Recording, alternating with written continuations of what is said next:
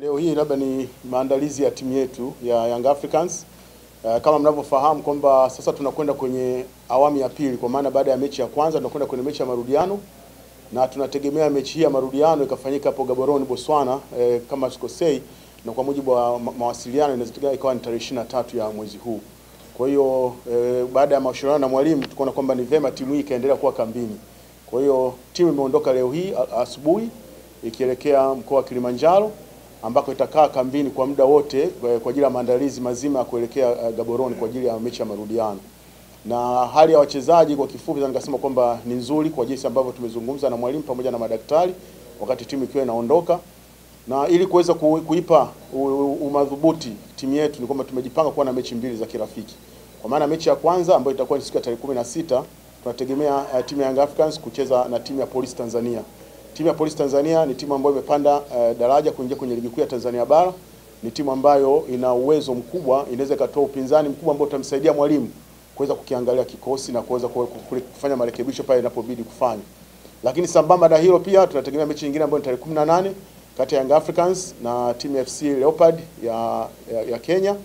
Na kwa wale ambao mnafahamu ni mojawapo ya timu nzuri, lakini sambamba na hilo E, tumekuwa na historia nao kubwa tu. Hii timu ya FC Leopards ni ni kusema ni marafiki kwa maana ya clubs katika miaka mingi, na wao wanaokumbuka miaka ya 68 69, hawa ni watu ambao tulikuwa tunashirikiana nao kwa ukaribu, na ndio waliwahi kucheza mechi kati ya Young Africans na FC Leopards ili kuweza kuchangia Yanga kuweza kupata jengo, na ndio ile jengo la Mafia baada ya Yanga kuweza kujikusanyia kitita cha takriban kama shilingi 10,000 au 12,000 ambayo ilipelekea kuweza kujenga jengo la Mafia. Kwa ni watu ambao tuna historia nao, lakini pamoja na hayo ni timu ambayo ina upinzani ambao tunaamini kwamba iwapo mwalimu atayatumia uh, mazoezi haya pamoja na hizo mechi mbili za kirafiki, basi tutakuwa tumesha kinoa kikosi chetu tayari kwa ajili ya kuelekea huko Gaborone ambako tutacheza mechi na Township Rollers ya marudio.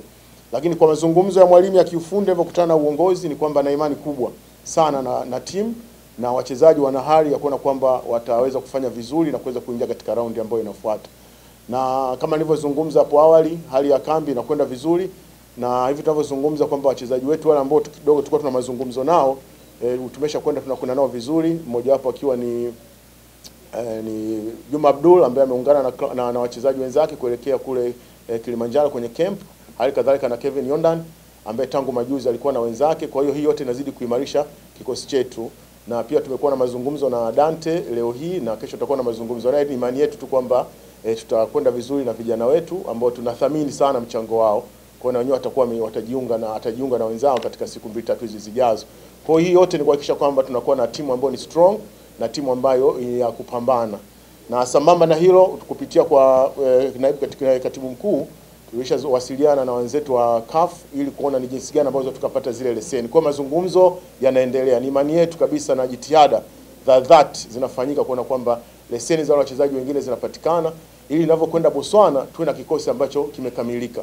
Lakini pia eh, klabu ya Yanga inapenda kutoa rai kwa mashabiki, wapenzi na wanachama wote kwamba waendelee kutoa mawazo mbalimbali ya kuweza kuboresha kikosi chetu, lakini technically tunaamini tuna kikosi kizuri ambacho kinazidi kuboreshwa siku hadi siku, na ni imani yetu kubwa tu kwamba klabu ya Yanga itakuwa ni klabu mojawapo yenye ushindani mkubwa sana, si tu hapa nchini bali na Afrika kwa ujumla. Kwa hiyo tuzidi kuendelea kuboresha, na kwa yote yule ambaye anakuwa anaweza kutusaidia kwenye klabu, basi maoni yake yanapokelewa na yanafanyiwa kazi. Kwa hiyo haya nilikuwa niona ni mazuri tuyazungumze.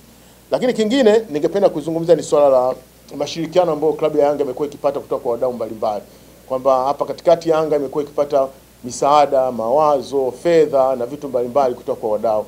Kwa leo hii tunaye mgeni wetu ambaye ni Ahmed Amasha ambaye yuko hapa kwangu, ni mchezaji wa klabu ya Young Africans. Katika siku za nyuma alikuwa akicheza beki nambari tatu.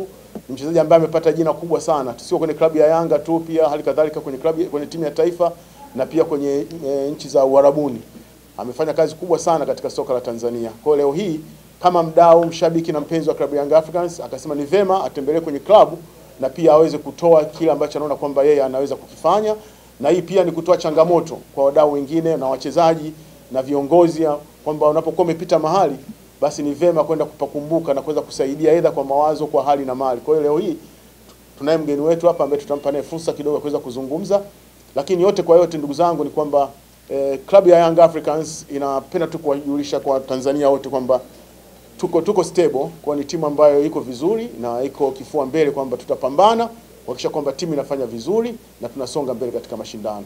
Kwa hiyo nichukue nafasi hii nimkaribishe bwana Ahmed Amasa aweze kuongea.